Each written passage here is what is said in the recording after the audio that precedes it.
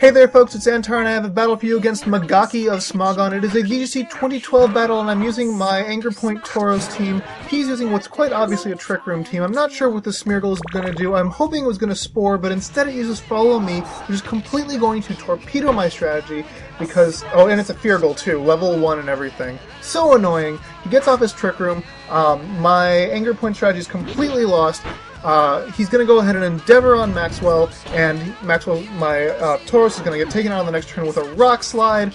Uh, he protected. It's awful. Now, both my Pokemon are Ghost types, so he can't uh, Endeavor.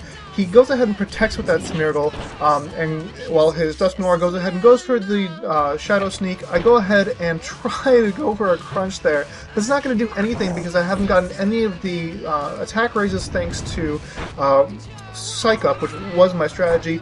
Anyway, bad things happen. He switches in his uh, Hariyama, and while Portia really benefits from the Trick Room, I just don't see this going well at all. Portia uh, goes ahead and uses Shadow Sneak against Dusknoir. I don't know why I didn't just go for the Dark Pulse. He's predicting me like, whoa, also.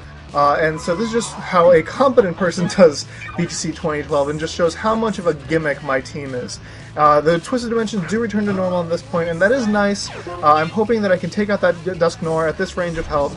Yeah, so here comes the Shadow Sneak. I take out his Dusknoir, and uh, at least I got one kill. Hey, uh, stored power is not going to do anything if I haven't gotten off any stat boosts. I guess he gets the freeze hacks, and at this point I'm thinking, seriously? After everything that's happened in this battle, did you really need that freeze hacks? Smeargle is back out, of course, and I'm just knowing that the Endeavor is coming, except for actually, no, right, never mind. Um, the Trick Room wasn't up, so that's excellent for me. I take out a Smeargle. I've taken out two of his Pokemon. Yes, this battle is going so well for me. But with a uh, frozen uh, Gardevoir and a Portia that's down to about uh, you know 71 health. Actually, now look, it's dead. So that's great. Snorlax is going to go ahead and crunch my Gardevoir, and that is the end of the battle. I don't like this team, I'm going to be honest, but I'll keep it around and maybe I'll make it better. So long, folks.